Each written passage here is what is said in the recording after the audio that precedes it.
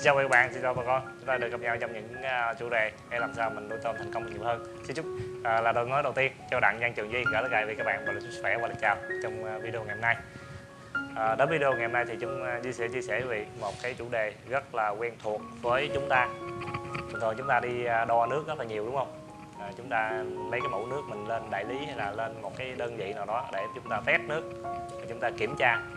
Thông thường thì chúng ta những kiểm tra những cái thông số hết sức quan trọng và trong buổi video ngày hôm nay Di phân tích phân tích những cái cơ bản trên về những cái thông số về quản lý môi trường trên ao nuôi mình. Để chúng ta hiểu về những cái thông số này nó quan trọng như thế nào và chúng ta hiểu được những cái cơ bản.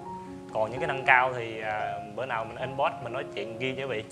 Bữa nay thì mình nói cơ bản thôi để cho tất cả bà con cũng giống như bà quý anh, anh chị em nuôi tôm hiểu sơ qua còn việc nuôi công nghệ cao và nó cần những cái trình quản lý cao hơn thì chúng ta ở những cái à, video cao hơn như sẽ nói. Thì à, cái việc mà thông số môi trường á, nó sẽ có một số thông số nào và nó cái tầm quan trọng nó như thế nào, chúng ta quản lý nó ra sao? Và di sẽ điểm qua. Đầu Di sẽ nói về năm thông số cơ bản mà chúng ta, đây là một cái yếu tố sống còn và một cái yếu tố quyết định cho bầy tôm mà chúng ta không thể thiếu được và năm yếu tố này là cái việc mà nuôi tôm trong thời đại hiện nay và đến giai đoạn năm 2021 22 thì chúng ta cũng không thể bỏ qua những năm yếu tố này được. Nếu như những ngày đầu nuôi tôm á, những ngày mà nuôi sú hay là nuôi ờ, từ năm 2000 lẻ mấy á, mà chúng ta không có cần quyền quan tâm ờ, khí độc như thế nào không cần độ, quan tâm độ kiềm như thế nào thì chúng ta vẫn nuôi thành công. Nhưng mà giai đoạn này nuôi không nuôi được thành công được lâu. Không phải vì. Thì yếu tố đầu tiên á, sẽ nói tất cả quý vị đó là khi mà chúng ta kiểm tra và chúng ta quản lý à, về cái pH. Thì cái này là rất là dễ rồi. Đã có mặt từ năm 2000 lẻ đúng không? Hình như là cái pH là một cái sống còn. Và Di cũng đã nói rất là nhiều về cái vấn đề đầu tiên là cái vấn đề pH. Một cái vấn đề thứ hai là vấn đề kiềm. Cái, cái vấn đề kiềm và cái vấn đề pH nó là hai thằng anh em mà nó không thể thiếu được. Kể cả chúng ta nuôi ao đất hay là ao bạc hay là ao mật độ thưa gì cả chúng ta phải kiểm soát. Kể cả nuôi ao quảng canh chúng ta phải kiểm soát là cái kiềm chúng ta phải kiểm soát được nó ít nhiều chúng ta phải quản lý được ở biết là kiềm mình nó, nó tầm khoảng trên 100 hay là trên một trăm rưỡi gì đó. Con tôm nó mới thích nghi tốt và nó phát triển tốt được. Đó là hai vấn đề đầu tiên. Và cái yếu tố thứ ba là cái một cái thông số môi trường sống còn trên ao mình đó đó là cái yếu tố là về khí độc. Nếu chúng ta nuôi ao đất mà thâm canh từ mật độ từ 50 con đổ lên tới 200 con hoặc 300 con thì cái vấn đề khí độc là một cái vấn đề chúng ta phải cần quan tâm quan tâm và chúng ta phải bám sát nó. Tại vì nếu mà khí độc mà lên cao á à, nó sẽ gặp vấn đề. Di sẽ nói về cái vấn, à, vấn đề khí độc là những cái yếu tố khí độc mà nó nó nó gây nó gây hại cho con tôm là một là NO2 hai là NH3 và ba là H2S và ba cái thằng này á thì hiện diện trong ao mình á thông thường á là ao đất á hay ao bạc gì cũng cả cái thằng NO2 cái thằng nậu hai là cái thằng mà hình như là ao đất nào khi một thời gian thì bắt đầu là nó sẽ có tại vì chúng ta ít thay nước.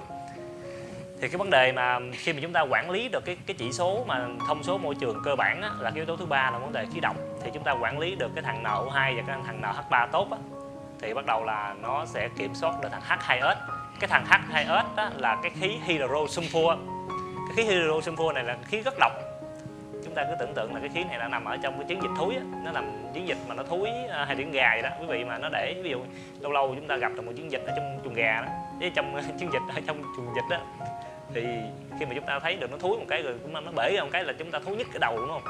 Và chỉ cần một cái lượng nhỏ trong ao thôi là khí H2S này á là bắt đầu tôm mình nó nhảy búng chết rồi. Nó chỉ cần là 0,01 mg thôi chứ không cần 1 mg đâu là bắt đầu tôm mình có vấn đề đó nhưng mà cái khí H2S này á, là nằm ở ao đất rất là nhiều. Cái ao đất thì nó nằm ở những cái ao đất mà đáy quá cũ có nghĩa là những cái cục sình mà cái cục lựu đạn của ao đất mà khi mà nó quạt mà xí giữa nằm ở đó nhiều á. Khi mà chúng đây đi qua mà nó xèo xèo thì xèo lên á. Nó đó làm trong đó nhiều đó. Nhưng mà chúng ta khi mà nuôi ao đất á chúng ta có đừng có động vào cục sình đó. Khi mà chúng ta quay quạt á nó gom cục sình vào đó, đó. Chúng ta cứ để nó đi.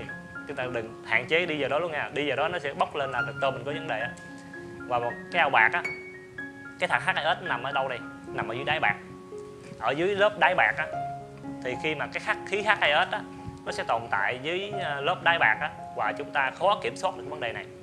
Nếu như chúng ta có điều kiện gì nè, chúng ta sau một vụ nuôi á, mà chúng ta có điều kiện á, chúng ta cắt bạc ra, cắt ra phân nửa, rồi chúng ta xịt dưới đáy, cắt ra xong rồi mướn thợ hàng gấp hàng lại thì chúng ta sẽ giảm được cái H2S và đặc biệt cái khí độc nằm ở dưới đáy.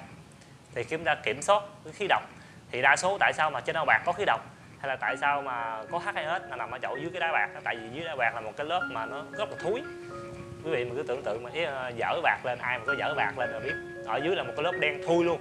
Tại vì nó là một cái nó không có vi khuẩn nó không có vi khuẩn mà vi sinh nó xuống dưới nó làm được. Và nó chỉ có vi khuẩn yếm khí thôi bởi vì ở dưới là thúi. Đó là dưới um, do ao bạc. Và cái vấn đề thứ ba vấn đề khí độc. Và cái vấn đề thứ tư à, đó là cái vấn đề cũng sống còn trong ao tôm và chúng ta phải kiểm được cái chỉ số và quản lý được cái chỉ số này đó là cái mật độ phẫn. Cái mật độ phẫn thì nó có sẽ có gì đây? Một là phẫn gan và phẫn ruột phẫn gan thì nó có là vibrio phaga hay là cái phẫn ruột thì nó có là vibrio gây bệnh phân trắng hay là gây một số căn bệnh đứt khúc chống ruột hay là lỏng ruột trên đường ruột. Thì chúng ta quản lý được hai cái thông số và về à, phẫn trong môi trường thì là một cái yếu tố thứ tư là cái yếu tố mà chúng ta quản lý được về cái môi trường sẽ thành công nhiều hơn.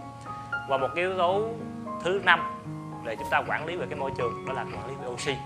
Cái oxy là cái vấn đề có sống còn có nhiều bầy tôm điện lại duy hỏi tại sao mà sáng thường thường tôm tôm, tôm mà nó nổi lạng lạng mặt nước? Và nó bị vấn đề gì? Duy hỏi là lúc mà nổi là có phải là lúc tắt quạt không? Nó đúng rồi tắt quạt cho ăn. Thì rõ ràng cái câu chuyện này là cái câu chuyện tôm bị thiếu oxy chúng ta quản lý oxy á, thì chúng ta phải kiểm soát được chúng ta thấy được cái con tôm mình á là ừ bây giờ á giai đoạn nào nó cần oxy nhiều giai đoạn nào làm không phải giai đoạn nào ao mình có oxy nhiều. Rồi giai đoạn nào ao mình nó bị cạn kiệt oxy thì chúng ta cung cấp cho nó. Ví dụ như giai đoạn á là ba bốn giờ sáng á, có phải là quý vị thấy xương xuống á, là bắt đầu là trong ao mình á, hàm lượng oxy hòa tan nó thấp đúng không? Nhưng mà chúng ta chạy quạt lúc đó nhiều đúng không?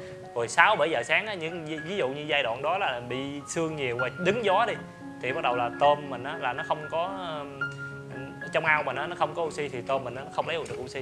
Nhằm bày tôm khi gớt là nó chỗ thiếu oxy nè. Chúng ta phải quản lý, quản lý và chúng ta kiểm soát được cái dòng oxy trong ao.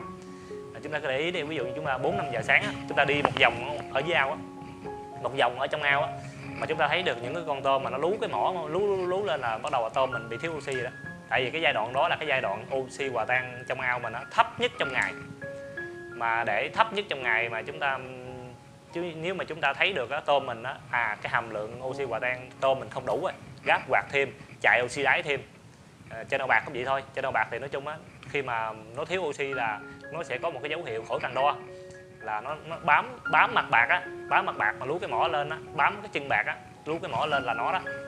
Thì đó là những cái yếu tố cơ bản để mà chúng ta làm sao mà quản lý được cái môi trường đó là năm yếu tố để mà chúng ta kiểm soát được cái môi trường. Năm yếu tố cơ bản thôi nha còn rất là nhiều như vị. Ờ, còn kiểm soát về khoáng nè rồi còn kiểm soát về à, à nồng độ à, nồng độ tảo hàm lượng tảo nè nhân dân rất rất nhiều thứ. Nói chung là nuôi nếu mình chúng ta nuôi mật độ cao hơn thì chúng ta cần những cái trình quản lý cao hơn. Thì đây là những cái thông số môi trường cơ bản là những cái thông số sống còn để chúng ta quản lý và chúng ta kiểm soát và chúng đo hàng ngày chúng ta quản lý thì uh, trong video và chủ đề ngày hôm nay thì Duy cũng muốn chia sẻ đến quý vị các bạn đơn giản thôi để chúng ta làm sao thành công nhiều hơn. Và xin cảm ơn quý vị các bạn đã luôn quan tâm đến kênh thủy sản Duy và đặng nhân Duy là một những nhà một trong những đơn vị cung ứng về giống thuốc men đồ nghề thủy sản thức ăn thủy sản lắp đặt ao bạc công nghệ cao uy tín làm nên thương hiệu. Xin chúc cho quý vị các bạn một vụ mùa thật sự thành công và hãy nhiều sức khỏe. Xin chào quý vị các bạn và hẹn gặp lại. xin chào